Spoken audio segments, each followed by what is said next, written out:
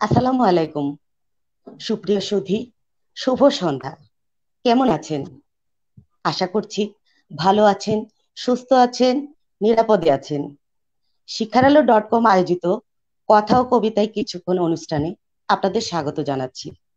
অনুষ্ঠান সঞ্চালনায় আছি আমি নাসিম আক্তার রত্না, প্রধান শিক্ষক খিলাপুকুরপাড় সরকারি প্রাথমিক বিদ্যালয় আদর্শ সদর কুমিল্লা। বর্তমানে যে পরিস্থিতি চলছে, তাতে আমাদের মঞ্চে একসাথে কিংবা কোথাও একসাথে হয়ে অনুষ্ঠান করা সম্ভব হচ্ছে না। কিন্তু এখন আমাদের জন্য আকাশ উন্মুক্ত। পুরো পৃথিবী আমাদের মঞ্চ।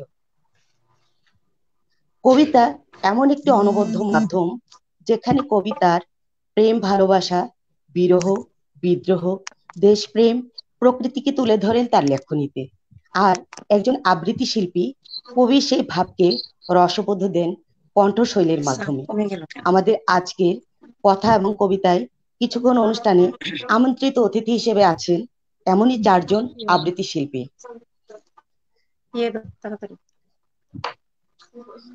প্রথমেই জনাব মাহমুদা সুলতানা মৌলি সহকারী শিক্ষক ময়মনসিংহ থেকে। জনাব ডালিয়া পারভিন প্রভাষক সাতক্ষীরা থেকে। জান্নাতুল ফেরদৌস জান্নাত সহকারী শিক্ষক ময়মনসিংহ। লাকি বিশ্বাস প্রধান শিক্ষক চট্টগ্রাম। আমি প্রথমেই আসছি জনাব মাহমুদা সুলতানা মৌলি আপনার কাছে। আপা কেমন আছেন? আপা মাইক্রোফোনটি অন করে আপা কেমন আছেন? আপা আসসালামু আলাইকুম। ওয়ালাইকুম আসসালাম কেমন আছেন? আলহামদুলিল্লাহ আপা ভালো আছি। শিক্ষাবার্তা ডট কম যে প্রোগ্রামটি আয়োজন করে যাচ্ছে, করছে, এটি সত্যি প্রশংসার দাবিদার। সবাইকে আজকের প্রোগ্রামে যারা যারা আছেন, সবাইকে অনেক অনেক শুভেচ্ছা। আমি মাহমুদা হোসেন মলি আছি মুসলিম গার্লস স্কুল অ্যান্ড কলেজে চারুকারু সহকারী শিক্ষক। এই তো। জি, ধন্যবাদ আপা। আমি এরপর যাচ্ছি জনাব ডালিয়া পারভিন, প্রভাষক সাতক্ষীরা। আপা আপনার মাইক্রোফোনটি অন করে আমাদের সাথে আমাদের দর্শকদের উদ্দেশ্যে পরিচয় দিন। জি। ওয়ালাইকুম আসসালাম। আপা কেমন আছেন? আসসালামু আলাইকুম।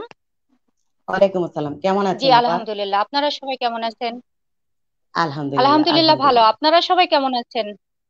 আলহামদুলিল্লাহ ভালো আছি। ভালো আছি। আমি এরপর আমি যাচ্ছি। জি জি বলুন আপা বলুন। জি। আমি ডালিয়া পারভিন প্রভাষক বাংলা শ্যামনগর আটজন মহিলা মহাবিদ্যালয় শ্যামনগর সাতক্ষীরা জি ধন্যবাদ আপা। আছেন জান্নাতুল ফেরদৌস জান্নাত সহকারী শিক্ষক ময়মনসিংহ। আপা আপনার আপনার মাইক্রোফোনটি অন করে আমাদের সাথে কথা বলুন। কেমন আছেন আপা? আসসালামু আলাইকুম আপা। শোনা যাচ্ছে কি? জি জি শোনা যাচ্ছে। আমাদের দর্শকদের উদ্দেশ্যে আপনার পরিচয়টি দিন। হ্যাঁ আমি জান্নাতুল ফেরদৌস জান্নাত সহকারী শিক্ষক পাটগুদাম সরকারি প্রাথমিক বিদ্যালয় সদর ময়মনসিংহ। ধন্যবাদ। আছেন আমাদের সাথে লাকিরানী বিশ্বাস প্রধান শিক্ষক চট্টগ্রাম। আপা কেমন আছেন? হ্যাঁ ম্যাডাম ভালো আছি। নমস্কার। কথা নমস্কার। এই জি জি। অনুষ্ঠানে যারা দেখছেন সবাইকে শুভকামনা শুভ সন্ধ্যা। আমি প্রধান শিক্ষক হিসেবে আছি রাউজান রাউজানে। গরিবুল্লাহ পাড়া সরকারি প্রাথমিক বিদ্যালয়ে কর্মরত আছি। ধন্যবাদ আপা। ধন্যবাদ। ধন্যবাদ। আমি প্রথমেই যাচ্ছি। জনাব মাহমুদা সুলতানা মৌলি আপার কাছে। আপা প্রথমেই জানতে চাইব কত বছর বয়স থেকে কার অনুপ্রেরণায় এই আবৃত্তি শিল্পকে ভালোবাসা। ধন্যবাদ রত্নাপাকে প্রশ্নটা করার জন্য। আসলে কার অনুপ্রেরণা, এটা যদি বলি, মূলত কারও অনুপ্রেরণাই না। হ্যাঁ কারণ আমার পরিবারে আমার যদিও আধুনিক মানসিকতার মানুষ ছিলেন, কিন্তু এই ব্যাপারটা, একদম আমি মেয়ে, আমার ঘরে থাকতে হবে এবং মায়ের সাথে অ্যাটাচ থাকতে হবে উনি কেন জানি এই মনোবাসনা ইয়ে করে রাখতেন, নিজের মধ্যে পুষে রাখতেন। আমার সেই আমার পদচারণটা ছিল শুধুমাত্র আমার মায়ের সাথে। হ্যাঁ আমার খালাতো ভাই বোন, চাচাতো ভাই বোন, কারোর সাথে আম্মা আমাকে দিতেন না। একদম ঘরে আম্মা নিজের সাথে রাখতেন। তো সেই সুবাদে আমার মা ছিল আমার বন্ধু। হ্যাঁ আমার বন্ধু বান্ধব তৈরি হয়নি কখনো। এটা আসলে কেন যে কীভাবে আমার মধ্যে এটা চলে আসছে এটা আমি নিজেও জানি না, আমি আজও বলতে পারব না। তবে আমি ওই শিল্প জগতে বিচরণ করাটাকে আমি আমার নিজের মনের খোরাক আমার আনন্দ আমি মনে করতাম সেই ছোটবেলা থেকে। তো সেই সুবাদে আমি ছোটবেলায় প্রথম টিভি থেকে দেখে দেখে যখন আগে তো বিটিভি ছিল হ্যাঁ বিটিভিতে ওই মাসে একটা প্রোগ্রাম হতো ওই প্রোগ্রাম দেখে সামনে বসে থাকতাম। তবে একটা বলতে পারব যে আমাদের আবৃত্তিকার হচ্ছেন শিমুল মোস্তাফা। আমি উনার আবৃত্তি শুনে অনুপ্রেরণা পেয়েছি আবৃত্তি করার। সেই থেকে আমার আবৃত্তির প্রতি এই ভালোবাসা। ধন্যবাদ আপা। ধন্যবাদ। আপনার ভালো লাগা অনেক ভালো লাগল। আপা এবার আমাদের আমাদের কার কবিতা শোনাচ্ছেন? কোন গুণী কবির কবিতা শোনাচ্ছেন। আপা আমি কবিতা শোনাবো। জাহিদ হায়দারের লেখা একটি কবিতা। জি। সেই কবিতাটা আমি প্রথমে শোনাচ্ছি। যদি এটা যৌথ ডুয়েট এটা, তারপর আমি শোনাচ্ছি। ভোরবেলায় মন্দিরা এঁকেছে লক্ষ্মীর পা লাঙ্গলের ফলায় ভোরবেলায় শুভরঞ্জন বংশাই নদীতে করেছে স্নান। সূর্যোদয়ের আগেই মাঠে চলে যাবে। গত সন্ধ্যায় যখন উঠেছে পূর্ণিমার চাঁদ পূব আকাশে একটি সোনার থালার মতো গোলাকার নদীর তীর ধরে হেঁটে যেতে বলেছি, ওই পূর্ণিমার চাঁদ, শুভরঞ্জন, যদি তোমাকে দিয়ে দিই, কি করবে তুমি? ওই চাঁদে এই মৌসুমে ছড়াবো সর্ষের বীজ, আগামীতে মানে হাল বৈশাখে দেব আমনের চাষ। শুভরঞ্জন তুমি না জ্যোৎস্না ভালোবাসো? সর্ষে আর আমনের ক্ষেত থেকে কোথায় জ্যোৎস্না পাবে তুমি? হে শুভরঞ্জন শব্দহীন হাসে।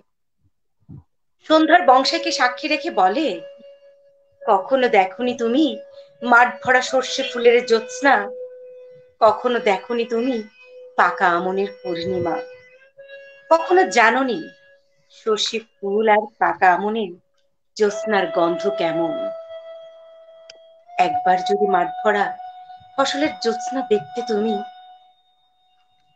ভোরবেলায় মন্দিরে এঁকেছে লক্ষ্মীর পা লাঙলের ফলায়। সূর্যোদয়ের আগেই শুভরঞ্জন মাঠে চলে যাবে। ধন্যবাদ। অনেক ধন্যবাদ। আপা। অনেক ধন্যবাদ। অনেক ভালো লাগল। অনেক ভালো লাগল। আচ্ছন্ন হয়ে শুনছিলাম। আমরা সুপ্রিয় দর্শক মন্ডলী, আমাদের এই অনুষ্ঠানটি লাইক কমেন্ট এবং শেয়ার করি আমাদের সঙ্গেই থাকুন। আপনাদের সুন্দর সুন্দর কমেন্ট আমাদের এই অনুষ্ঠানের অনুপ্রেরণা। আমরা এবার যাচ্ছি জনাব জান্নাতুল ডালিয়া, জান, জনাব ডালিয়া পারভিন, প্রভাষক সাতক্ষীরা। জনাব ডালিয়া পারভিন, প্রভাষক সাতক্ষীরা। আপা আপা প্রথমেই জানতে চাইব কার অনুপ্রেরণায় এবং কত বছর বয়স থেকে এই কবিতাকে ভালোবাসা আবৃত্তিকে ভালোবেসে থাকা আবৃত্তির সঙ্গে? জনাব ডালিয়া পারভিন প্রভাষক। জি জি। আপা আমার প্রশ্নটি আমি আবার করছি। কত বছর বয়স থেকে এবং কার অনুপ্রেরণায় কবিতার আবৃত্তিকে ভালোবাসা?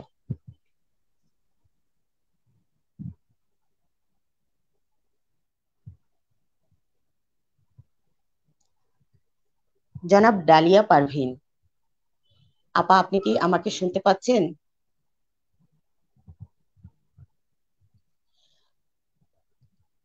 কোনো কারণে আমরা কিন্তু বিদ্যুৎ এবং নেটওয়ার্কের কাছে খুব অসহায়। যদিও বিদ্যুৎ এবং নেটওয়ার্কের জন্যই অনলাইনে সবাই সবাইকে দেখছি। তারপরও জি আপা ডালিয়া পারবেন আপা।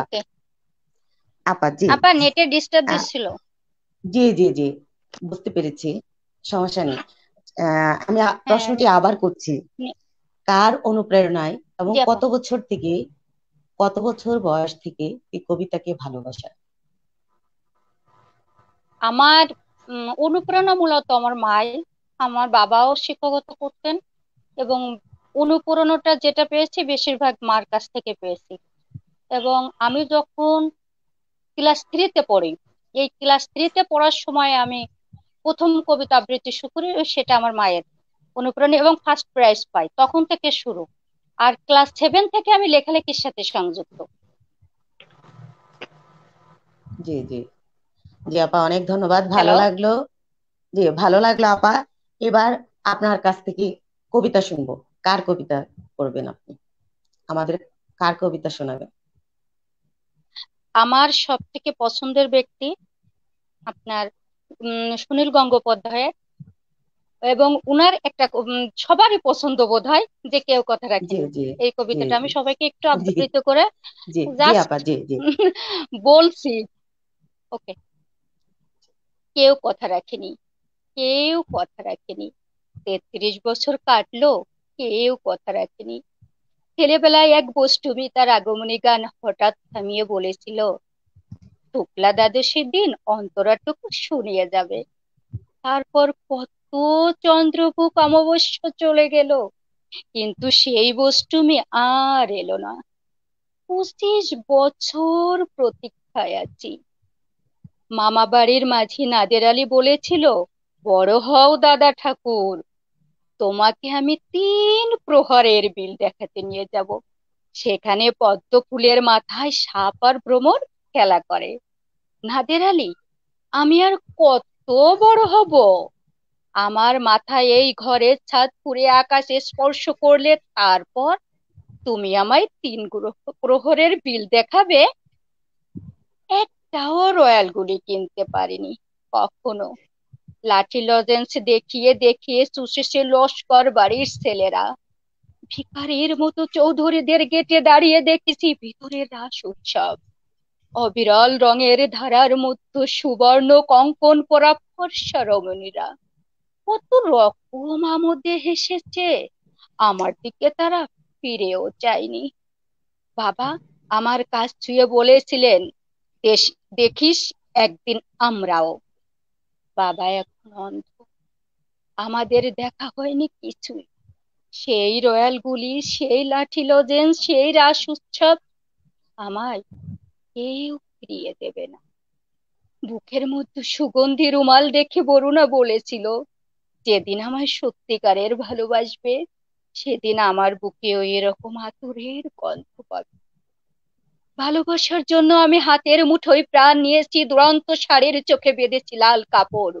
বিশ্ব সংসার তন্ন তন্ন করে খুঁজেছি, একশো আটটি লাল পদ নীল পদ্ম। তবুও কথা রাখেনি বরুণা। এখন তার বুকে শুধুই মাংসের গন্ধ। এখন সে যে কোনো নারী। কেউ কথা রাখেনি। তেত্রিশ বছর কাটলো কেউ কথা রাখে না। সবাইকে ধন্যবাদ। ধন্যবাদ আপা। ধন্যবাদ আপা। অনেক ভালো লাগল। এবার আসছি জান্নাতুল ফেরদৌস জান্নাত আপার কাছে। আপা কেমন আছেন? আপা আসসালামু আলাইকুম। ভালো আছি আলহামদুলিল্লাহ আপা জানতে চাইব প্রথমেই আপনি কত বছর বয়সে এই কবিতা আবৃত্তিতে এসেছেন এবং কার অনুপ্রেরণায় এটি আজও করে যাচ্ছেন? আপা আসলে আমি বলতে গেলে আবৃত্তিকার হিসেবে খুব একটা পরিচিতি নাই তবে আমি লিখি। তো চেষ্টা করতেছি আপনাদের সাথে থেকে আবৃত্তি করার।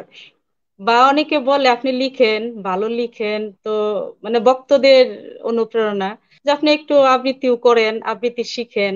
এই হিসাবে আর কি আমি তো আপনাদের মাঝে আসছি।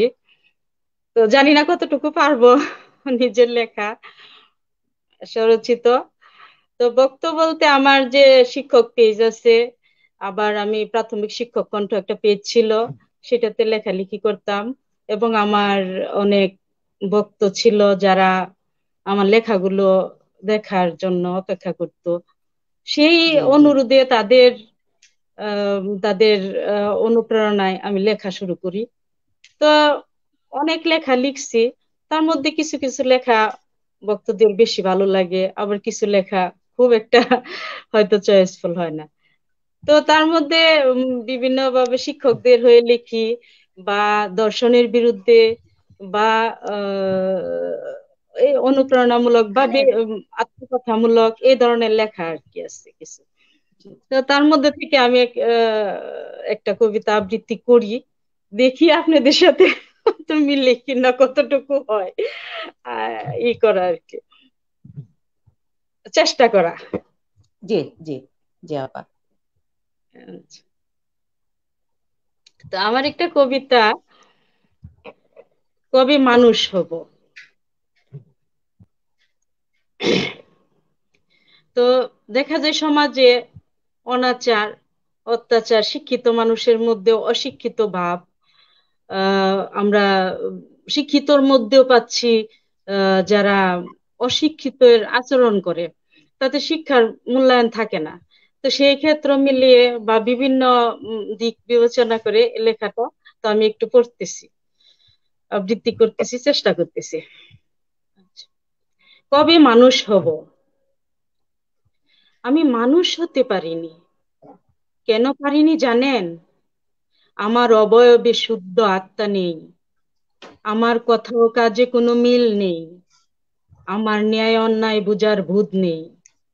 আমি নিরপরাধীকে কষ্ট দিয়ে থাকি, বিনা কারণে তার সম্পদে লুপ করে থাকি, কারণ আমি মানুষ হতে পারিনি।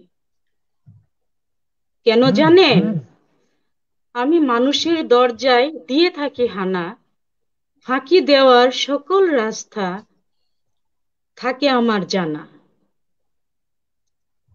এমন মানুষ আজ আমি হয়েছি গন্ডামির উস্তাদিতে নাম লিখেছি।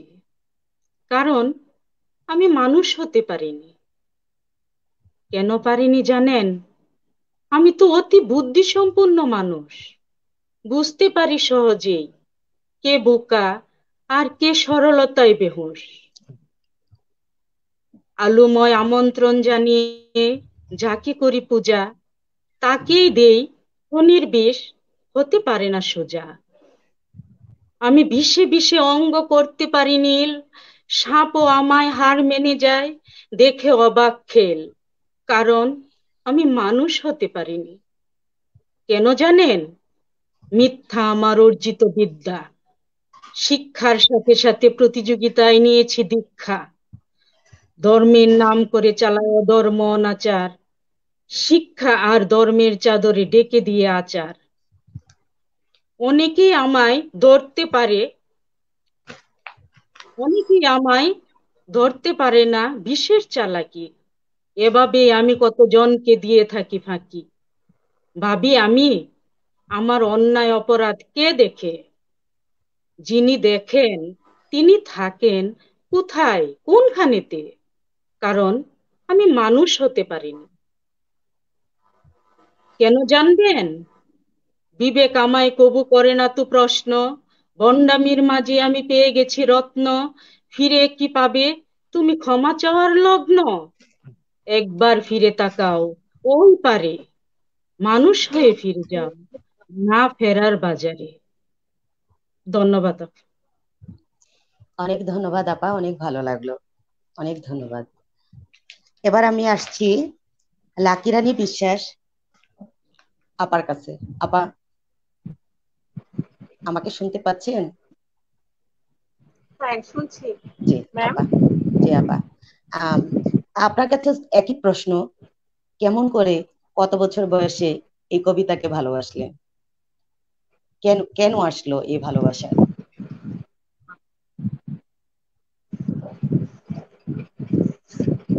ম্যাম ধন্যবাদ।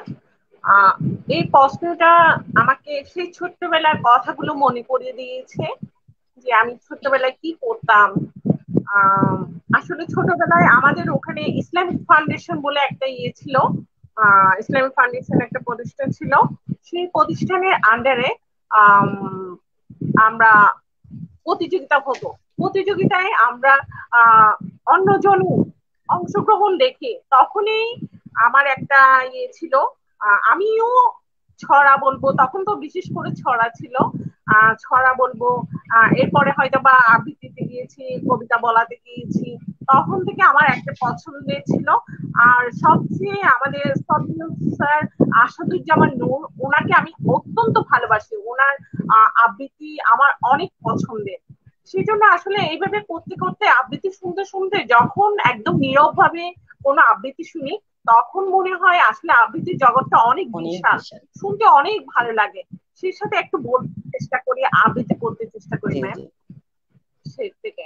আর আমি নিজেই লেখ করি। আমার অনেক কবিতা এই পর্যন্ত অনেক কবিতা এসে গেছে অনেক বই ছাপানো হয়েছে কিন্তু নিজের একটা বই ছাপাবো হয়ে ওঠেনি আসলে। অনেকেই বলেছে যে একটা বই ছাপান আপনি ইয়ে করেন। আসলে করা হয়নি সময়ের অভাবে। জি অনেক ধন্যবাদ। এবার আমরা কি পরিবেশনা শুনব? কার কার কবিতা পড়ে শোনাবেন আমাদের?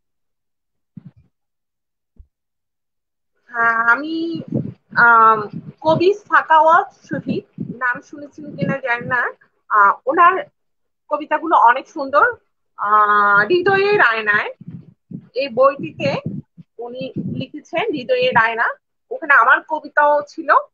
এটা সিলেট থেকে উনি লন্ডনে থাকে বোধ সিলেট থেকে প্রকাশিত হয়েছে অধরা। জি জি জি। সাকাওয়াত শিরিন করলে, অনেকটাই আসমকা। আচ্ছা বলো তো, কি চাও তুমি? কিন্তু ছোট শব্দের প্রশ্নটি ভাবিয়ে তুলল বেশ। কি যে এখন বোঝাই তোমায় আমি? সম্পূর্ণ একটা পৃথিবী আমার চাই। অতি চেনা চারপাশের এই পৃথিবীতে বড় হাঁপিয়ে উঠেছি আজকাল। অক্সিজেনের বড়ই অভাব। শ্বাস নিয়ে বাতাসটুকু যেন নাই। আমার কেমন দম বন্ধ হয়ে আসে। তাই তো একটু বিশুদ্ধ বাতাসের আশায় তোমার কাছে বারবার নানান অজুহাতে হয় ফিরে আসা। প্রতিনিয়ত তোমার উপেক্ষা, বারংবার তোমার বারণ। কোনো কিছুতেই আমি আটকে রাখতে পারি না নিজেকে। জানি না কি সেই দুর্বোধ্য কারণ? আমার শ্বাস নেয়ার বেশ স্বাদ। আমার ইচ্ছে পরন্ত বিকেলে কড়া দু কাপ চা নিয়ে মুখোমুখি বসে গল্পে মাতি। কিংবা অলস সন্ধ্যায় টিভি রিমোট নিয়ে ঠোঁট পাকিয়ে ঝগড়া করি। খাইয়ে নটটা বাঁধার আগে। কপট বিরক্তি নিয়ে শাড়ির কুচিটি করা কিংবা গভীর আবেগে তোমার চুলের মাঝে মুখ ডুবিয়ে অন্য ভুবন খোঁজা। এসব ছোট ছোট সামান্যই চাওয়া আমার। তুমি শুনিয়েছিলে আশা দিয়ে যেদিন ফুলে ফুলে ভরে উঠবে বাগানটা, যেদিন হাজারো পাখির কলতানে দ্রবীভূত থাকবে তোমার মনটা সেদিন যা চাইব তা দেবে আমায়। যদি তার ভার আমি নিতে পারি। জানি তোমার কাছে এসবের কিছুই পাওয়া হবে না আমার একদিন ফুলের ধারে নুইতে নুইতে হয়তো ভেঙে যাবে ওই ডালটা। পাখির অবিরত কলকাকুলিতে কুম্বেরও ছুটে যাবে ঘুমি দেশটা। আর আমার কাছে পড়ে রইবে কিছু রাত জাগা প্রহর কিছু বিনিদ্র বেদনা আর কিছু দীর্ঘশ্বাস। ধন্যবাদ ম্যাম অনেক ধন্যবাদ আপা। অনেক ভালো লাগল। কবিতায় আচ্ছন্ন হয়েছিলাম।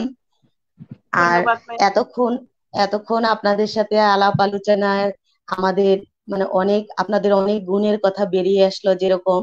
পেশাগত দিক তো সামলাচ্ছেন সাথে সাথে কবিতা লিখছেন। এই কথাটি শুনে খুব ভালো লাগল, খুব ভালো লাগল। আপা প্রথমে আমি আবার আসছি জনাব মাহমুদা সুলতানা মলিয়াপার কাছে আপা পেশাগত দিক সামলাতে গিয়ে কখনই কি মনে হয় যে আমি যদি আরেকটু সময় পেতাম আমার আবৃত্তি চর্চার জন্য? ধন্যবাদ আপা। না, আমার আসলে কখনো এটা মনে হয় না। যে আর একটু সময় পেলে আরও ভালো করতে পারতাম। কারণ আমি মনে করি যে প্রত্যেকটা কাজেরই নির্দিষ্ট একটা সময় থাকে। হ্যাঁ পেশাগত দিক আছে, সংসার আছে। আমার প্রত্যেকটা সময়ই মনে হয় যে ভাগ ভাগ করা। আমি চাইলেই এটা আমার কাছে আমি মনে করি। কারণ কি, কোনো কাজটাকে আমাকে, আমার আসলে খুব কঠিন মনে না তো, কাজের মাঝে থেকে আমি অভ্যস্ত। সেই জন্য আমার মনে হয় না যে আসলে সময় পেলে আর একটু ভালো করতে পারতাম। আমার মনে হয় যে না, আমি আমার কাজের বাইরে এইটার জন্য যে সময়টুকু আমার রাখা দরকার আমি রাখতে পারছি, আমি চর্চা করতে পারছি। যেমন আমি সংসার সবারই আমার মতো সবাই আছে, সংসার সামলাচ্ছে পেশাগত দিক আছে, আমার কিছু সাংস্কৃতিক সংগঠন আছে, আমি রাজনীতির সাথে সম্পৃক্ত, রাজনীতি সেখানেও সময় দিচ্ছি। আমার মনে হয় যে প্রত্যেকটা কাজেরই আলাদা আলাদা সময় ভাগ করা। তারপরও কিছু এলোমেলো হয় ম্যানেজ হয়ে যায়। ম্যানেজ হয়ে যায়, জি। আপা, এবার কি শুনব আমরা?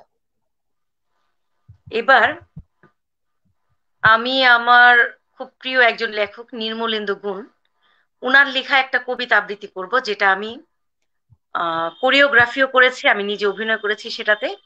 আমি অনেকবার পুরস্কার পেয়েছি এবং নির্মলেন্দু গুণের কাছ থেকে উনার অটোগ্রাফ সহ আমি একটা বই পেয়েছি। এবং আমার জীবনে সবচেয়ে বড় কমপ্লিমেন্টস হচ্ছে, উনি নেত্রকোনার একটা প্রোগ্রামে আমি যখন কোরিওগ্রাফি করে মঞ্চ থেকে নেমে আসি। উনি বলেছিলেন যে এটা দিয়ে এত সুন্দর কোরিওগ্রাফি হয় এটা জানলে আমি তোমার জন্য আর একটা কবিতা লিখতাম। এটা আমার জীবনে অনেক বড় একটা অনেক অনেক বড় পাওয়া অনেক বড় পাওয়া। আমি আবৃত্তি করছি নির্মলেন্দ্র গুণের ক্ষেত মজুরের কাব্য। মুগুর উঠছে মুগুর নামছে ভাঙছে মাটির ঢালা আকাশে মেঘের সাথে সূর্যের জমেছে মধুর খেলা। ভাঙতে ভাঙতে বিজন মাঠের কুয়াশা গিয়েছে কেটে। কখন শুকনো মাটির তৃষ্ণা শিশির খেয়েছে চেটে। অতটা খেয়াল রাখেনি কৃষক। মগ্ন ছিল সে কাজে। হঠাৎ পুলকে পবনে হৃদয় পুষ্পিত হলো লাজে। ফিরিয়া দেখিল, বধূটি তাহার পেছনে আলের পরে বসে আছে যেন, ফুটে আছে ফুল, গোপনে চুপটি করে। সামনে মাটির লাল শানকিতে জড়ি আঁচলে বাঁধা। আজ নিশ্চয় মরিচের রসুনে বেউনুন হয়েছে রাধা। হাসিয়া কৃষক মরাল বাঁশের মুগুরি ফেলিয়া দিয়া কামুক আখির নিবিড় বাঁধনে বাঁধিল বধুর হিয়া। বরুণ গাছের তরুণী ছায়ায় দুজনে সারিল ভোজ বধুর ভিতরে কৃষক তখন পাইল মনের খোঁজ। মেঘ দিল ছায়া বন সঙ্গমে, পুরিল বধুর আশা। মনে যাক মুখে সে বলিল, মর্গে বর্গা চাষা শব্দটি তার বক্ষে বিধিল, ঠিক বর্ষার মতো। এই জমিটুকু আমার হইলে কার কি বা ক্ষতি হতো? কাতর কণ্ঠে বধুটি শুধালো আইসা ফুলির বাপ, আমাগো একটু জমিন হবে না?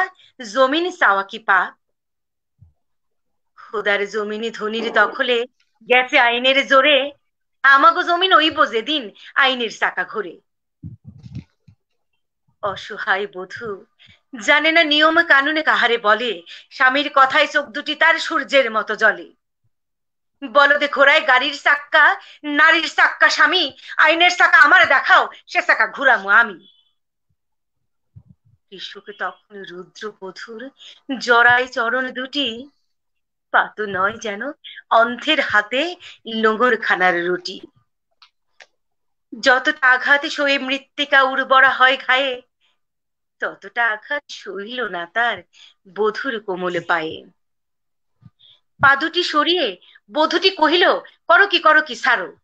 মানুষে দেখিলে, জমি তো দেবে না, দুর্নাম দেবে আরও।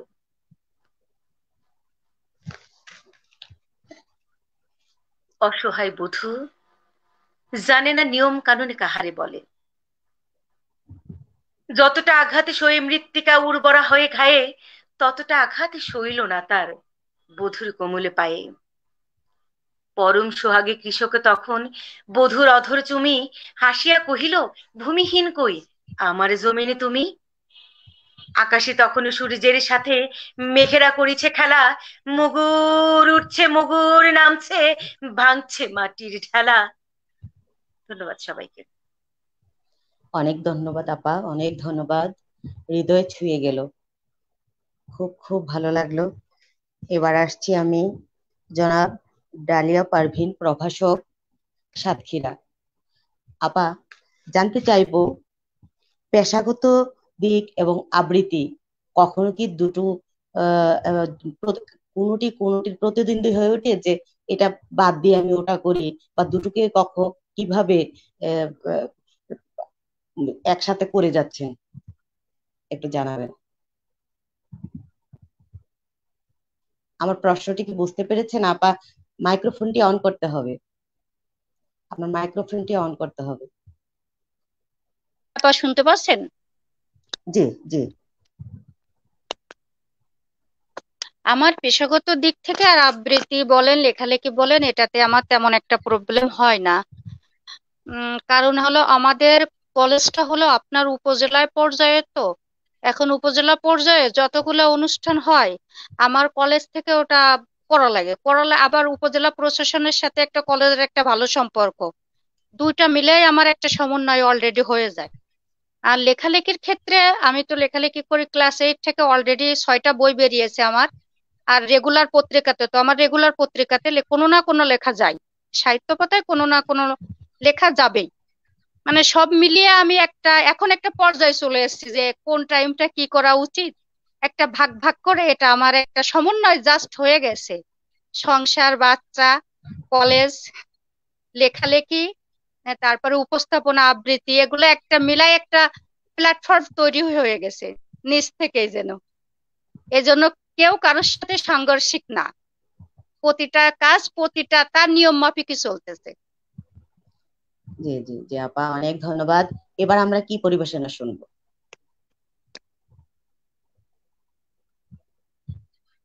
জি, এবার আমি আমার নিজেরই লেখা একটা কবিতা একটু আবৃত্তি করার চেষ্টা করতেছি। আসলে আমি মূলত বেশি লেখালেখি এবং উপস্থাপনাতে থাকি, আমি আবৃত্তি করি সবার রিকোয়েস্টে কিন্তু সেটা খুবই কম। খুব ভালো আবৃত্তি বোধহয় আমি করতেও পারি না। জাস্ট একটু চেষ্টা করা উচিত একজন বাংলা শিক্ষক হিসেবে লেখালেখি, লেখিকা হিসেবে সেইটুকু করি। এবার আমি, যেহেতু আমরা এখানে সবাই মহিলা, নারী নারী কেন্দ্রিক একটু কিছু আবৃত্তি করার চেষ্টা করছি যে, দেখেন, আমার কবিতাটার নাম, মেয়ে তোর মরা উচিত। মেয়ে, তুই ধর্ষিতা। উচিত তোর এক্ষুনি মরা। তোর আবার সংসার, এটা কেমনে হয়? হয় না রে। শরীরে শরীর ডুবানো না, তবু কি হয়েছে? তোর শরীরে হাত ছুঁয়েছে পুরুষের জবরদস্তি অনেক জায়গায় চুয়ে গেছে। শিলতাহানি হয়েছে তোর। তাতেই হবে তোর সীতা। তাই মেয়ে তুই অস্পৃশ্যা। সমাজে কি তোর হয় জায়গা? পতিতার খাতায় নাম উঠে তাই। সেটা তুই বুঝিস না। মেরে ও মেয়ে, তুই ধর্ষিতা বর আসবে, জামাই পাবি। নামে নামে বস্তা বস্তা সান্ত্বনা পাবি। বুকের মাঝ জায়গার সত্যটুকু যখন আলগাবি, উপহাস সমেত সুযোগ বুঝে গোষ্ঠী সমেত বৎসর না খাবি। ইচ্ছে মতো লাথি পাবি। ভালোবাসার চাওয়া কিসের? তুই তো মেয়ে পতিতা, তুই তো মেয়ে পতিতা। তোর শরীর নিয়ে খেলা যায় ভুল করে বাধ্য হয়ে মানা যায় কিন্তু তুই তবুও অস্যুত ভালোবাসা তোকে কখনো কি ভালোবাসা যায়? বল না মেয়ে। বল, ভালোবাসা যায়? মেয়েরে, তুই তুই তো মেয়ে ধর্ষিতা। তোর ঠিকই মরা উচিত। মর রে তুই মর। যত দ্রুত মর, নইলে তোকে মারবে সবাই। তিলে তিলে দিন দুপুরে। দোষ না থাকলে কেউ শরীর পতায়। পতিতারে, তোর দোষ কম কিসে? বলছি তুই, দ্রুত মর।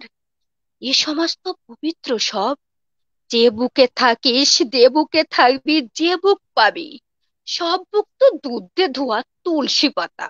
রাতের বেলায় অন্ধকারে পতিতা পাড়ায় যাচ্ছে সবই তিন দুপুরে কিংবা তাকিয়েছে সবাই। শত নারীর আষ্টে মাংস লুপসে গ্রান মজ্জাগত, তাতে কি? তবুও সমাজ তাদের দখলে। পুরুষ শাসিত এই সমাজে পুরুষদেরই দখলে। সে বুকেতে তোর ঠাই। হয় রে, হয়, কখনো হয়? হয় রে হয় রে। মেয়েরে তুই বুঝবি কবে? সত্যের মূল্য দুর্মূল্যে মিথ্যাচারের মিথ্যা তথ্যের সমাজটা চলে সেই কলসে। মেয়ে তুই সত্যি চাস সেই কানেতে? স্বাধীনতা সেই কানেতে? পাবি না। মেয়েরে তুই পাবি না। তুই তো মেয়ে পতিতারে। মর রে মেয়ে। তোর মরা উচিত। যত দ্রুত মর, গিয়ে মর। অপমানের ছিলে মরার চেয়ে মেয়ে তুই আগেই মর। মেয়ে তুই বেঁচেই মর বেঁচে থেকেই মর। মেয়েরে তোর মরা উচিত। মেয়েরে তোর মরাই উচিত। ধন্যবাদ অনেক ধন্যবাদ, আপা। অনেক ধন্যবাদ। অনেক ভালো লাগল। অনেক ভালো লাগল। এই প্ল্যাটফর্মটি না হলে আমাদের শিক্ষকদের যে এতটা প্রতিভা আছে আমাদের জানাই হতো না। এই ধন্যবাদ শিক্ষালো ডট কম কে আমাদের এই প্রতিভাগুলো এভাবে তুলে ধরে ধরার ধরার একটা প্ল্যাটফর্ম তৈরি করে দেওয়ার জন্য। সুপ্রিয় শ্রোতা মন্ডলী আমাদের এই অনুষ্ঠানটি লাইক কমেন্ট এবং শেয়ার করে আমাদের সঙ্গেই থাকুন। আপনাদের সুন্দর মতামত আমাদের এই অনুষ্ঠানের প্রেরণা। আমি এবার আসছি জান্নাতুল ফেরদৌস, জান্নাত আপার কাছে। আপা, জানতে চাইব, পেশাগত দিক এবং আবৃত্তি সামলাতে গিয়ে কখনো কি প্রতিবন্ধকতা হয়েছে? কোনো একটাতে কি প্রতিবন্ধকতা, আবৃত্তিতে কি কখনো প্রতিবন্ধকতা হয়েছে? বা এরকম কি কখনো মনে হয় যে পেশাগত দিক আর দুটো আমি সামলে উঠতে পারছি না?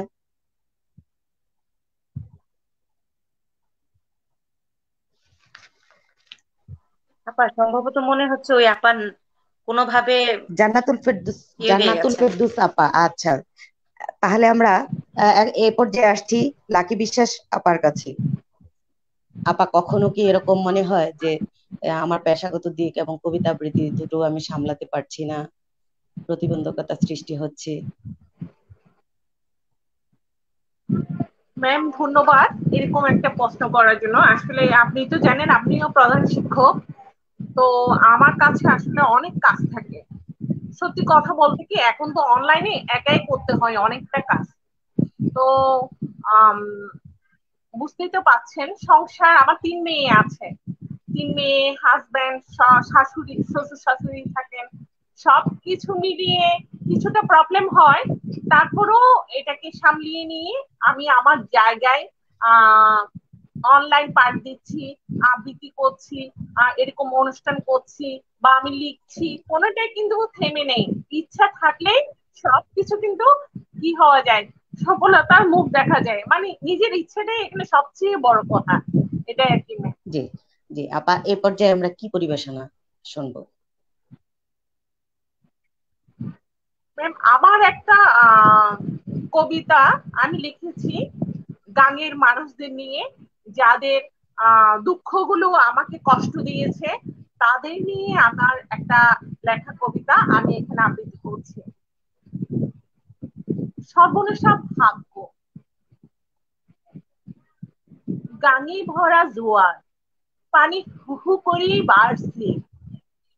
জানি না কেমনে এই বিধারে বাসামো কেমনে পোলা মায়াল বলইয়া জীবন চালামো কাইন্দা কাইন্দা গুজরান দিয়া মনু মিয়ারে সুদাই ও ফুলির বাপ, আমাগো কপালে এত দুঃখ কেন? কেন পোলা মায়াগো খাওন দিতে পারে না? কেন শেষ সম্বল মাতা গোজার ভয়সা যাইব ফুলির বাপ নিতর, যেন সে শুনে নাই ফুলির মার কথা। নিজের ভাগ্যের সে মিলাইয়া লয় ওই ব্যাপারে জমিদার গোর সাথে। দীর্ঘশ্বাস ফাইলা সে ভাবে সত্যি তো সে ফুলির মারে, ফুলিরে, মসনুরে, কিছুই সে দিতে পারে নাই। পানির টান বাইরাই চলেছে এমন ফুলি, মসনু, ফুলির মা, ফুলির বাপ, কত গেছে আসছে? খবর লইবারও তো কেউ নাই। ভাইসা গেছে গাঙের মাঝে ফুলির মার দুঃখ। ফুলির মার স্বপ্ন। ফুলির বাবারা এমনই বোবা হইয়া ডুববে। মনের গাঙের সর্বনাশার ঢেউয়ে। ধন্যবাদ ম্যাম। অনেক ধন্যবাদ অনেক ধন্যবাদ আপা। অনেক ভালো লাগল। আমি আবার আসছি। যারা মাহমুদা সুলতানা মলিয়াপার কাছে। মলিয়াপা। জি। কখনো কি মনে হয় যদি সুন্দর একটি মঞ্চ পেতাম তাহলে এই এই কবিতাটি আবৃত্তি করতাম। এমন কোন কবিতার কথা কি আপনার স্পেশাল আসলে কখনো মনে আসে? কখনো আসলে আচ্ছা। মনে হয় না যে একটা মঞ্চ পেলে এটা আবৃত্তি করতাম এরকম কখনো মনে হয় না। কারণ কি মঞ্চটা নিয়েই থাকি তো সারাক্ষণ। প্রোগ্রাম দেখা যায় যে ডিসেম্বর এখন করোনাকালীন সময় আমরা এটা খুব মিস করছি। আসলে আমার স্কুল বলেন, সাংস্কৃতিক অঙ্গন বলেন সবকিছুতে এই মঞ্চ নিয়ে ব্যস্ত থাকে তো কোনো না কোনো ফাঁকে হয়ে যায়। সে অতৃপ্ত বাসনাগুলি পূরণ হয়ে যায়। হ্যাঁ যার ফলে এটা কখনো মনে হয় না যে মঞ্চ পেলে এটা করতে পারতাম। কারণ আমি তো এই পরিমণ্ডলেই বড় হয়েছি এবং এই পরিমণ্ডলে কিন্তু এখনও আছি। হ্যাঁ যার ফলে এই অতৃপ্ত বাসনাটা কখনো আমার মানে অতৃপ্ত থেকে যায়নি, পূরণ হয়ে গেছে কোনো না কোনো ভাবে আপা, তাহলে আমরা এই পর্যায়ে কি পরিবেশন থাকছে আমাদের জন্য। জালিয়া আপা অসাধারণ নারী নিয়ে অসাধারণ একটা কবিতা লিখেছে। অসময় উপযোগী একটা কবিতা। খুবই ভালো লাগল। সেলুট আপা আর লাকিয়া দিদি খুব সুন্দর আবৃত্তি করেছেন। এখন এই কবিতাটা খুব ভালো লেগেছে। দিদিকে অনেক ধন্যবাদ। শিক্ষাবার্তা ডট কম কে ধন্যবাদ। রত্না আপা সুন্দর উপস্থাপনা করার জন্য ধন্যবাদ। সুন্দর সাজুগুজু সুন্দর একটা পুতুল হয়ে বসে আছেন এটার জন্য ধন্যবাদ। আমি আবৃত্তি করছি। অনেক ধন্যবাদ আপনাদের মতো এত গুণ আমার নাই। তবে আমার হাজবেন্ড সে আবার ভালো লেখালেখি করে। আমার হাজবেন্ডের লেখা একটা কবিতা আমি পড়ছি। মঞ্জুর হোসেন মৃদুলের লেখা। আপু এটা শিক্ষার আলো ডট কম শিক্ষার আলো ডট কম সরি শিক্ষার আলো ডট কম ও সরি শিক্ষার আলো ডট আপু শিক্ষার আলো ডট কম হ্যাঁ হ্যাঁ হ্যাঁ সেটাই বললাম শিক্ষার আলো ডট কম শিক্ষার আলো ডট কম কে অনেক অনেক ধন্যবাদ এই সুন্দর প্রোগ্রাম উপস্থাপনা করার জন্য, এই সুন্দর একটা প্রোগ্রাম পরিচালনা করার জন্য। আচ্ছা আমার হাজবেন্ডের লেখা, মঞ্জুর হোসেন মৃদুলের লেখা একটা কবিতা, বারুদ। দু হাজার চার সালে এটা লিখেছিলেন, আমার খুব প্রিয় একটা কবিতা। চারিদিকে ধোয়াবালি, বারুদের গন্ধ। এ তো নয় মানুষের বাঙালির কপাল মন্দ। এক সময় বাঙালির মনে কত না ছিল ছন্দ, সে জীবনে ফুরিয়ে গেছে অভিশাপে, চারিদিকে শুধু বারুদের গন্ধ। জীবনে থমকে গেছে বাতাস, হয়েছে ভারী, মানুষ ভীত সন্তুষ্ট, কখন পড়বে মাথায় বাড়ি। মনে আনন্দ নাই ছোট ছোটি চারিদিক, কখন কোথায় ফুটবে বোম, সেদিন তো স্বপ্ন এখন মানুষের জীবনের নিরাপত্তা কম। বাবার শোক, স্বজন হারানোর ব্যথা তোমার বুক খালি করা দুঃখ। জনগণের নিরাপত্তা কই? এই মাত্র ফুটলো বোমা, কত মানুষ যে গেল মারা রাস্তা ঘাট মাঠ, সব হলো খানাখন্দ। লাশ নিয়ে করছে মিছিল, চলছে রাজনীতি, কথা একটাই, বন্ধ করো বারুদের গন্ধ। বন্ধ করো বারুদের গন্ধ। ধন্যবাদ, আপা। অনেক ধন্যবাদ আপা অনেক ধন্যবাদ। অনেক ভালো লাগল। ব্যক্তিগত জীবনে আপনি আসলেই অনেক অনেক একদিক থেকে অনেক হ্যাপি একজন মানুষ। আপনার হাজবেন্ডও লিখেন। সেটা শুনে অনেক ভালো লাগল অনেক ভালো লাগল। হাজবেন্ডের কবিতা আপনি আবৃত্তি করছেন। সেটা একজন ওয়াইফের জন্য অনেক অনেক পাওয়া অনেক বড় পাওয়া। আসছি জি জি। জনাব ডালিয়া পারভিন প্রভাষক। আসছি আপার কাছে। আপা আপনার কাছে জানতে চাইব কখনো কি এরকম মনে হয় যে সুন্দর একটি মঞ্চ পেলে আমি এই কবিতাটা আবৃত্তি করতাম?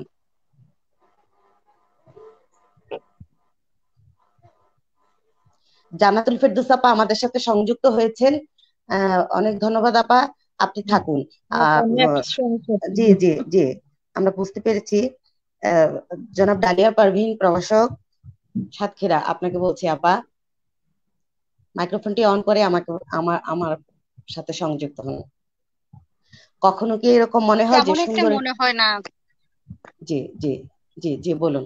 জি জি না পা কারণ আমি আপনার করোনাকালীন সময়ে তো তারপরেও আমার সবসময় মানে কি বলব প্রতি সপ্তাহে একটা হলে ভালো এরকম একটা অনুষ্ঠানও থাকে।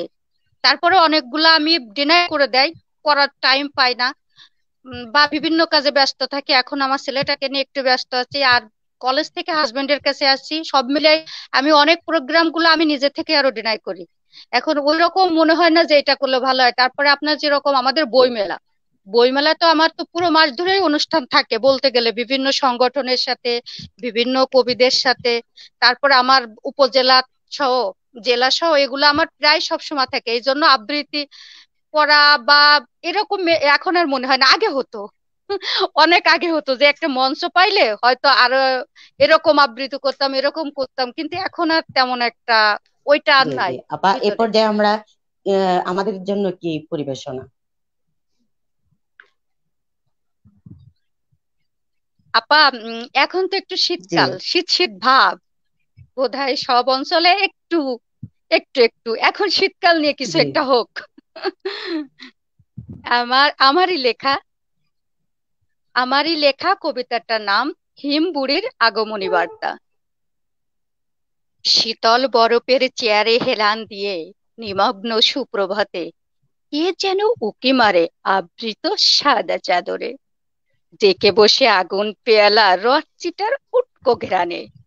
শুভ্র শিশির টোল দেয় সকালে তাজা রোদের চিটাগুড়ে আটকে মরে হিমবুড়ির গোছানো কুয়াশাতে। দুলে চলে সবখানে নতুন ঋতুর পালা বদলে। রিনিঝিনি শব্দে পাতার দোলনে, পায়ে মুড়ে বৃক্ষপত্রের সমসম ক্রন্দনে গায়ের মাঠে ঘাটে মাতাল জাপুকা প্রশান্তি খোঁজে ফিরে হলুদের বিছানাতে। দিনের সূর্য যা হেলে সর্বতার লগ্নে, রাতের চাঁদ জাগে থাকে বারটি প্রাম্ভে। সরিষার হলুদিয়া বসনা জেগে থাকে ক্ষেতের বুকে পিঠে। জেগে ওঠে সব কিছু নব্য হওয়ার আবির্ভাবে। খেজুরের গাছের স্তন্নে মুখ গুজে দূর চাটে বুড়ো ভার নগ্ন ঠিলার কান্দাবে জি। গুড় পাটালি মেলা বসে হাটে ঘাটে বাজারে। সুরসুর যাই দিয়ে নলিনী মিষ্টির ভাপা পিঠা অনাবারত জিহিব্বার আগ্রে। উঠোন বর্তি মধুরত মাখামাখি শ্রাবণে মুড়ির কৌটা রাখে ভরিয়ে। একসাথে মিলেমিশে নড়ে বসে সবেতে।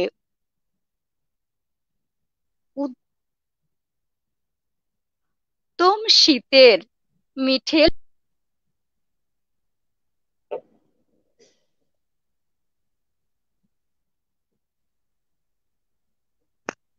হ্যালো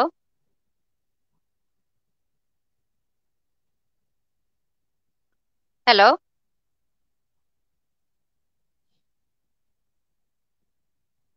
আপা শুনতে পাচ্ছেন?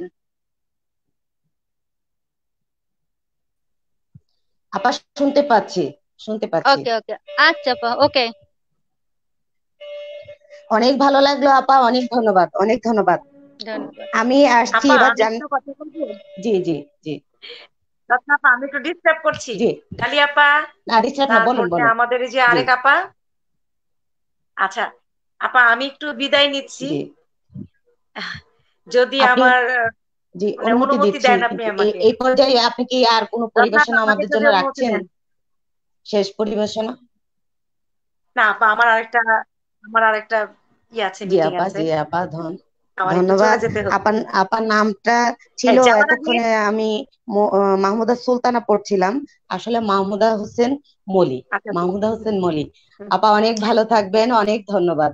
দেখা হবে যাওয়ার কোনো প্রোগ্রামে জি জি। যাওয়ার আগে একটা পরিবেশনা সেটা হচ্ছে আমি আমার মানে করতে ইচ্ছে করছে। শিল্পী শিল্পী এখানে তো সবাই শিল্পী জানেনি। শিল্পীর আসলে খোদা কখনো মিটে না। হ্যাঁ শিল্পীর খোদা থেকেই যায়। যাওয়ার আগে আমি জালিয়া আপা লাকি দিদি তারপরে আমার ময়মন সিং এর আপা আমার জায়গার মানুষ সেই সবার উদ্দেশ্যে আমার ছোট্ট একটা অভিনয় আপনাদের সামনে উপস্থাপন করি যদি এটা আবৃত্তির প্রোগ্রাম যেতে যেতে একটু ডায়লগ বলে যাই। আহ, নাটকের কাহিনীটা আরেকদিন আপনাদের না হয় বলব অল্প অল্প পরিসরে স্বল্প সময়ে বলতে পারছি না। তারপর একটু বলি আগের জমিদার এটা মোহনগঞ্জের জমিদার বাড়ির সত্যি ঘটনার উপরে নির্মিত। আপা অন্য সময় পাবো কি? ডিস্টার্ব হচ্ছে না তো? জি জি। না বলুন বলুন। থ্যাংক ইউ থ্যাংক ইউ আপা থ্যাংক ইউ মোহনগঞ্জের এটা জমিদার বাড়ির একটি সত্য ঘটনার উপর নির্মিত আমার প্রিয় স্যার স্যার রইসুদ্দিন রইস মনোরম স্যার। উনার লেখা নাটিকাটা এটার মূল কেন্দ্রে কুমদিনী চরিত্রে আমি ছিলাম নায়িকা চরিত্রে। তো রাজেন্দ্র মজুমদার যে জমিদার তার একমাত্র ছেলে সরল মজুমদার কলকাতায় লেখাপড়া করে গ্রামে আসে। আসার পরে সে গ্রামের কুমদিনী জেলের মেয়ে, বাল্য বিধবাসে তার প্রেমে পড়ে যায়। কারণ সে অনেক ভালো পদাবলী গাইতে পারতো। তারপরে যে হিন্দুদের আপা, লাকি আপা ভালো বলতে পারবে, পদাবলী, কীর্তন, এগুলি ভালো গাইতে পারতো। এটা দেখে সে প্রেমে পড়ে যায়। এই অপরাধে আমি শর্টকাট বলছি। এই অপরাধে রাজেন্দ্র মজুমদার জমিদার তার ছেলেকে ত্যায্য করে এবং গ্রামের মানুষ তাকে এক ঘরে করে দেয়। বারো বছর তারা একসাথে সংসার করে কেউ বিয়ে পড়ে নাই। যে বিয়ে পড়াতে যাবে তারই জাত যাবে। এটার জন্য। তো বিয়ে পড়ায় নাই। তো বারো বছর পরে এক সময় রোগে শোকে খেতে না পেয়ে এই সরল মজুমদার মারা যায়। মারা যাওয়ার পরে খুবই করুণ কাহিনী এটা। তার মারা যাওয়ার পরে কুমদিনী সবার ঘরে ঘরে যায়। যে তোমরা কেউ লাশটা পুড়ায় দাও। সেই লাশটাও তখন কেউ পোড়ায় নাই। যার যাবার ভয়ে। তখন অজ্ঞতা কোনো উপায় না দেখে তখন কুমদিনী সরল মজুমদারকে টেনে নিয়ে, টেনে হিসে মোহনগঞ্জের একটা নদী আছে অলল্যার নদী, এটাকে এখন অলল্যার খাল বলে, সেই অলল্যার নদীতে লাশটা ভাসিয়ে দেয়। ভাসিয়ে দিয়ে যখন কাঁদতে থাকে, তখন পিছন থেকে গ্রামের এক ভাই, সে এসে ডাকে। ডাকার পরে যে তার কথাগুলি, আমি সেটা আপনাদের সামনে উপস্থাপন করছি। কেলা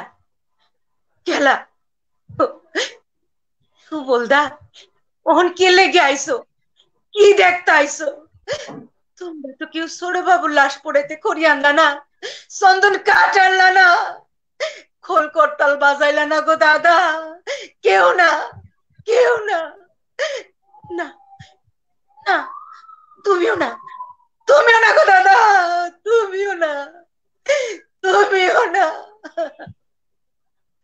সমাজ সংসার? আমার তো হইল না কেরে গো দাদা? আমার তো হইল না কেরে আমার তো হইল না কেরে আমার তো হইল না কেরে ওই দেখো। ওই দেখো। ওই দেখো দাদা ছোট বাবুর লাশ ভাসতাছে। আর আমারে ডাকতেছে আমারে ডাকতেছে গো দাদা আমারে ডাকতেছে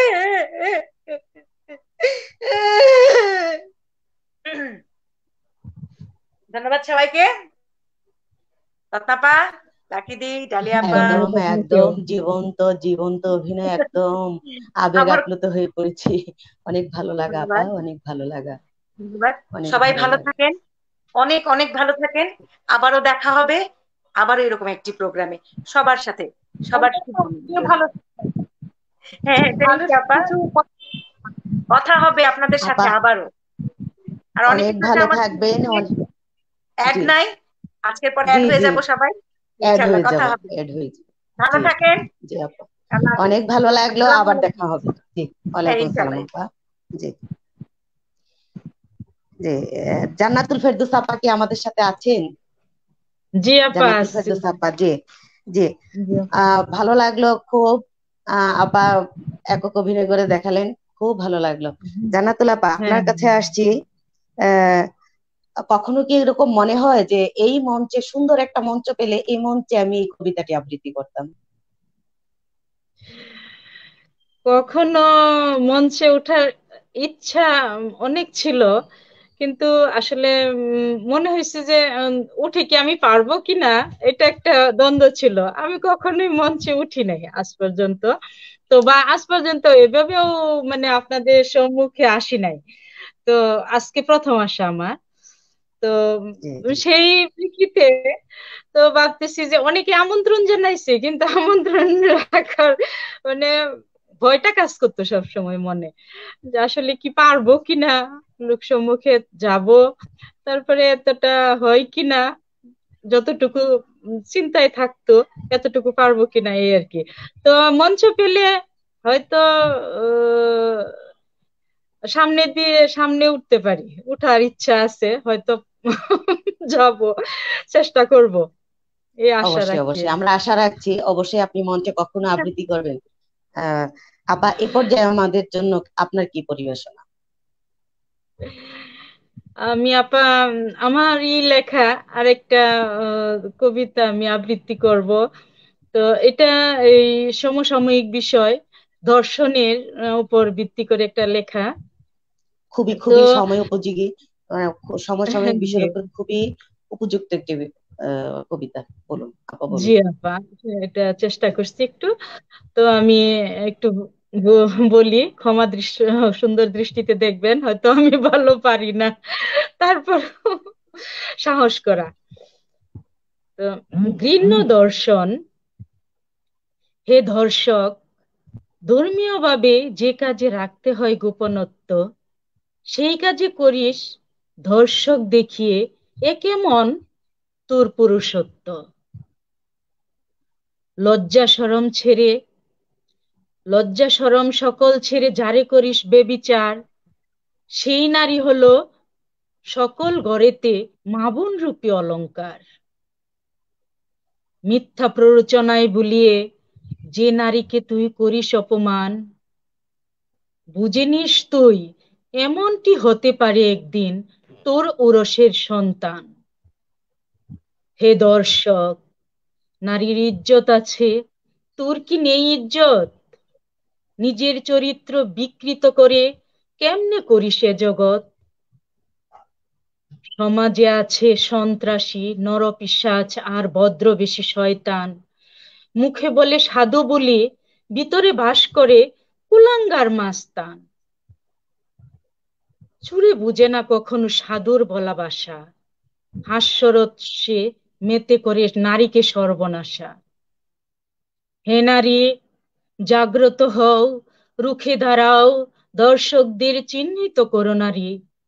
সমাজে তার কলঙ্কিত মুখ উন্মুক্ত করো, যে হয় দর্শনকারী।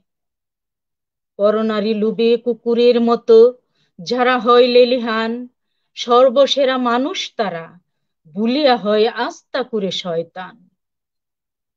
ভালোবাসার ছলনায় বুলাইয়া, ঝাড়ে করিস শ্রীলতাহানি ভেবে নিয়েছ? গোপনে গোপনে করেছি। কেউ দেখেনি? দেখে নিছে কিন্তু একজনই। গোপনে করো, সম্মুখে করো, নাম তার বদমাইশি। জেনে নিস তুই, সৃষ্টিকর্তার বিচারে হবে তোর বিচার। বাংলাদেশের আইনে চাই ফাঁসি। ধন্যবাদ আপু। অনেক ধন্যবাদ আপা, অনেক ভালো লাগল, অনেক ধন্যবাদ অনেক ধন্যবাদ। আসছি লাকিরানি বিশ্বাস আপার কাছে। আপা একই প্রশ্ন আপনার কাছেও। কখনো কি মনে হয় যে এরকম সুন্দর একটি মঞ্চ যদি পেতাম, তাহলে আমি এই কবিতাটি আবৃত্তি করতাম? আপা, ওইভাবে আসলে ভেবে দেখিনি কখনো। প্রায় প্রতিনিয়তই তো একটার পর একটা আছে। এরকম প্ল্যাটফর্মে বলি, উপস্থাপনা করি তাছাড়া আবৃত্তি করি। তো আসলে এইভাবে দেখা হয়নি। কিন্তু অনেকের মতো আবৃত্তি করতে ইচ্ছে করে। যারা শিমুল মুস্তফা আছেন তাদের মতো আবৃত্তি আসাদুজ্জামান নুরসার আছেন, তাদের মতো আবৃত্তি করতে ইচ্ছে করে, এরকম আর কি ম্যাম তো, এতটুকুই। আপা, এই পর্যায়ে আমাদের জন্য আপনার পরিবেশনায়। আমার আরেকটি কবিতা একটু তোমার বসন্ত। কবিতার হাত ধরে আমি তোমার বসন্ত ছুটে চেয়েছি বারবার। কৃষ্ণচূড়ার লাল আবির মাখা রঙে আমি তোমায় রাঙিয়ে নিতে চেয়েছিলাম। বসন্ত আমার চির যৌবন উন্মাদনায়, তুমি হারিয়ে যেতে এক সুদূর ভালোবাসা মাখা তীব্র অনুভূতি রাজ্যে। মগ্ন ছিলাম। তোমার বসন্তের অতল সমুদ্রে, বারবার ডুবে মরতে, কিন্তু পারিনি। হয়তো বসন্ত আমার, তোমার প্রথম আলো রৌদ্র তাপে পুড়ে গেছে। তোমার হৃদয়ের উঠোনে আমার বসন্তের ছায়া পড়েনি। তোমার চারপাশ ফুলের সৌরভে মুখরিত। তুমি ফুল ভালোবাসো, আমি জানি। তোমার বাগানে কোনো এক অজানা ফুলের সৌরভ পাচ্ছি। হৃদয় সৌরভে তুমি আঁকড়ি ধরেছ। কিন্তু তুমি কি বসন্তের আহ্বান করনি? নতুন ফুল ফোটাবে বলে আমাকে ডাকুনি? কি অদ্ভুত তুমি। বসন্ত তোমার বারে বারে আসে, নতুন ফুলের টানে। তুমি ভুলে যাও, তোমার বসন্তে ফুল ফুটেছিল। চার দিক মো মো গন্ধে সবাইকে জানান দিচ্ছিল। আর সে ফুল ছড়ালে তুমি কি নির্মম অবহেলায়। আজ তুমি হাহাকার করবে। বসন্ত তোমাকে বার বার বলবে, তোমার বসন্ত লাল নয়, কালোতে মলিন। ধন্যবাদ ম্যাম অনেক অনেক ভালো লাগল আপা। অনেক ভালো লাগল। কবিতায় আচ্ছন্ন হয়েছিলাম। আমার নিজের জি জি জি। আপনার লেখা আপনার লেখা। অনেক ধন্যবাদ অনেক ধন্যবাদ। আমাদের দর্শকরা আপনাদের এত প্রতিভার কথা এই একটা প্ল্যাটফর্ম না হলে আমরা একদমই জানতে পারতাম না। আমাদের মধ্যে কত প্রতিভা লুকিয়ে আছে। আসলে আমরা যারা শিক্ষকতা করি, আমরা কিন্তু শ্রেণীকক্ষে মোটামুটি সবকিছুই চালাই। গান, নাচ, আবৃত্তি বডি ল্যাঙ্গুয়েজে সবকিছুই মোটামুটি আমরা ফুটিয়ে তোলার চেষ্টা করি আমাদের শিক্ষার্থীদের সামনে। আমাদের শিক্ষার্থীদের সামনে আমরা কখনো মায়ের মতো, কখনো একজন শিল্পীর মতো, কখনো একজন মূকাভিনয়ের শিল্পীর মতো। মানে যখন যে, যেই বিষয়টাই সামনে আসে, আমরা সেইটাই কর- এবং করে অভ্যস্ত।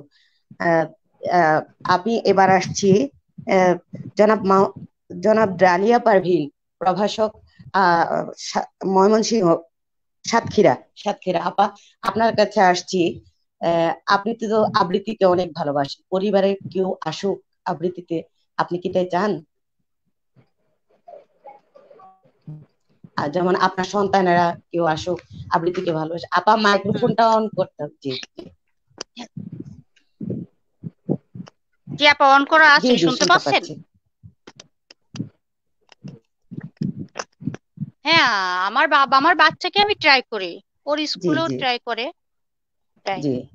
জি আপা এই পর্যায়ে আমরা কি পরিবেশন? বাচ্চা স্টুডেন্টেরও একটা ফলো আপ রাখি। এই পর্যায়ে আমরা কি শুনব? জি আমি এবার আমারই আরেকটা লেখা।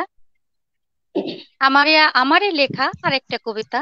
এবার একটু প্রেম কবিতা প্রেম নিয়ে হোক। এতক্ষণ এক একটা বিষয় নিয়ে তো হলো। এবার একটু এটা নিয়ে আমি দেখি কতটুকু কি করতে পারি। কবিতাটার নাম সুখী সুখী হও। কেমন আছো? কি করছ? কাল বিকেলে স্মৃতিগুলো নাড়া দিচ্ছে তো। জানি দিবে। দিতেই হবে। তোমার লাল পাপড়ি ঝরা উঠোঠে যে অলস চিহ্ন এঁকে দিয়েছি। সে আলতো চিহ্ন। তোমার অলস্যতার জাল ভেদ করে আমাকে নিয়ে ভাববে। শুধু আমাকে নিয়ে।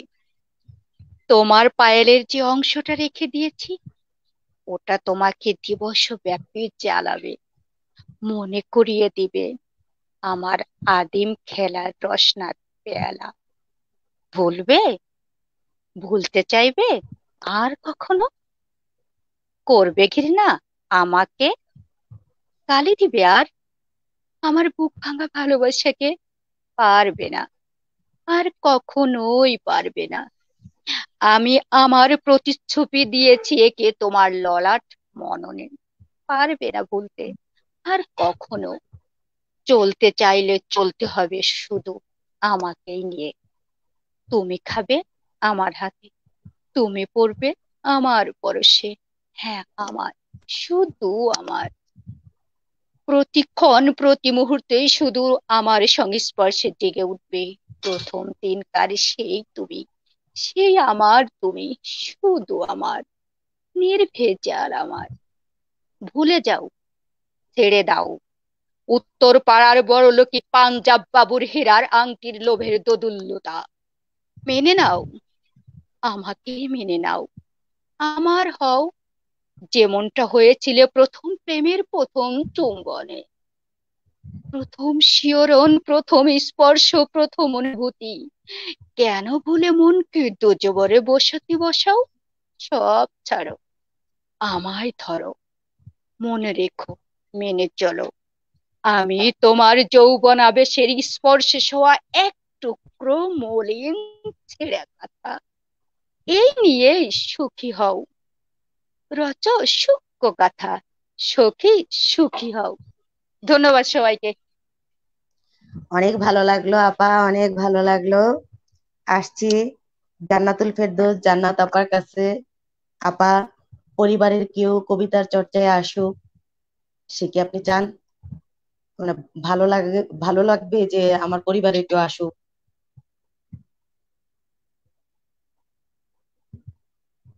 আপা মাইক্রোফোনটি অন করতে হবে। জি। জি জি বলুন। হ্যাঁ আপা শোনা যাচ্ছে? জি জি জি আপা শোনা যাচ্ছে। হ্যালো? শোনা যাচ্ছে। আচ্ছা। হ্যাঁ আপা উত্তরসূরি কেউ আমার থাকলে ভালো লাগবে যে আমার মতো করে লিখবে বা আমার আমার চাইতেও ভালো করবে। তো এটা আমি চাই। বা আমার সন্তান হোক বা আমার ভাইয়ের সন্তান হোক বা আমার বোনের সন্তান হোক বা আমার ছাত্র হোক যেই হোক আমাকে অনুকরণ করুক বা আমার মতো হোক বা আরও ভালো করুক। এটা চাই। হ্যাঁ। তো আপা আমি আমিও আরেকটা আপনার পরিবেশনা শুনি হ্যাঁ কিছু নিবেদনমূলক কবিতা যেমন মানে প্রেম বিষয়ক এরকম একটা কবিতা আবৃত্তি করব। তো আমি আসলে এরকম কবিতা খুব একটা লিখতে পারি না। আমার মানে বিরহ কবিতাই বেশি। তার মধ্যে একটা কয়েকটা কবিতা এরকম লিখছি চেষ্টা করছি। তো হঠাৎ দর্শকরা এই ধরনের কবিতা পেয়ে খুবই আনন্দিত যে বিরহ কবিতা সবসময় ভালো লাগে না। তো মাঝে মধ্যে একটু অন্যরকম হলে ভালো লাগে আর কি। তো আপু আমি আবৃত্তি করতেছি। সমর্পণ। আমি তোমাকে আরও বেশি আপন করে পেতে চাই। যতটা আপন করে পেলে মনের মাঝে কোনো খুঁত থাকবে না। ততটাই আপন করে আমি তোমাকে চাই।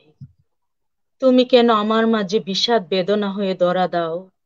তুমি কেন আমাকে একটু বুঝতে চাও না? আমি যে শুধুই তোমার আমি একান্তভাবে তোমাকেই চাই। আমি আর কারও স্বপ্নে জাগ্রত হতে চাই না। আমি তোমার অবহেলা একটুও নিতে পারি না। তোমার অবহেলা আমার মাঝে প্রচণ্ড রাগ ও কষ্টের জন্ম দেয়। তাই আমি হয়ে উঠি প্রতিবাদী। তুমি কেন বুঝো না? আমি শুধু তোমাকেই ভালোবাসি। তাই তো আমি মাঝে মাঝেই ভুল করে ফেলি। সে তো তোমারই জন্য হয়তো আমি তোমাকে অনেক ভালোবাসি, যা আমি নিজেও বুঝতে পারিনি মাঝে মাঝে। আমার ভালোবাসার রং শুধু তোমাকেই খুঁজে। আমার অনুভূতির রং তোমাকে খুঁজে পায়, যখন শান্তির পায়রাদের প্রেম নিবেদন দেখতে পাই আমার প্রেমের আলপনার রং স্বপ্নে ধরা দেয় তোমার নিবিড় মায়ায়। তুমি শুধু অকৃত্রিম বিশ্বাসে। আমাকে সবটুকু ভালোবেসো। আমি শুধুই তোমার। আমি শুধুই তোমার। আমি শুধুই তোমার। ধন্যবাদ অনেক ধন্যবাদ আপা অনেক ভালো লাগল। আহ সঙ্গেই থাকুন। আসছি লাকিরানি বিশ্বাস আপার কাছে। আপা কখনো কি মনে হয় আমার উত্তরসূরিরা আমার এই পথে আসুক? আবৃত্তি চর্চা করুক মাইক্রোফোনটি অন করে, মাইক্রোফোনটি, আপা মাইক্রোফোনটি অন করে।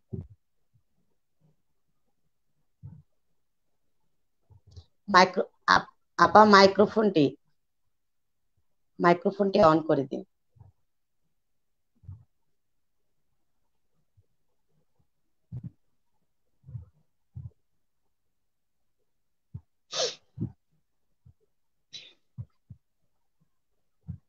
হচ্ছে না আপা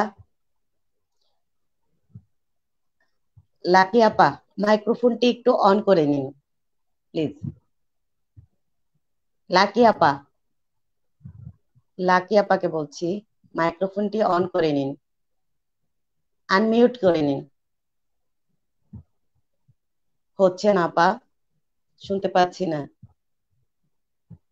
লাকি আপা লাকি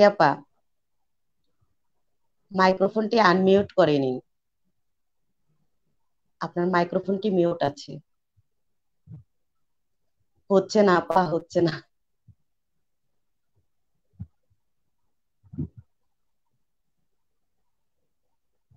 লাকি মাইক্রোফোনটি অন করে নিন। শুনতে পাচ্ছি না আপা।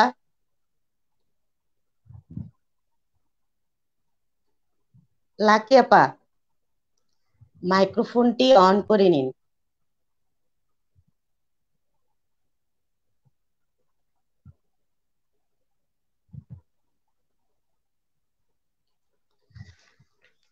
সুপ্রিয় শ্রোতা মন্ডলী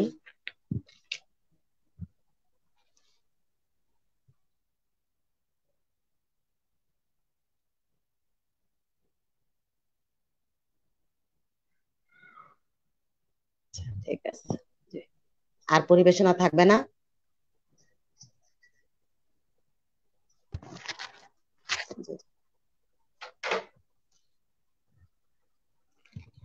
সুপ্রিয় দর্শক মন্ডলী এতক্ষণ আমাদের সাথে যারা লাইক কমেন্ট এবং শেয়ার করে সঙ্গে ছিলেন আপনাদেরকে অনেক ধন্যবাদ। আর যারা আমাদের আবৃত্তি পরিবেশনায় ছিলেন অনেক অনেক ধন্যবাদ আপা। বর্তমানে এই প্ল্যাটফর্মটি খুবই সময়োপযোগী একটা ব্যবস্থা ছিল আমাদের জন্য। সারা বিশ্বের সবার সাথে যেন কথা বলতে পারছি, সারা বিশ্বের সবাই আমাদেরকে শুনছেন। খুব খুব ভালো লাগা। আপা, এ পর্যায়ে জানতে চাইব ডালিয়াপার কাছে।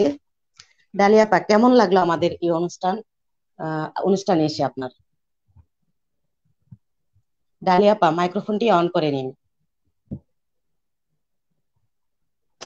অনেক অনেক ভালো লাগছে।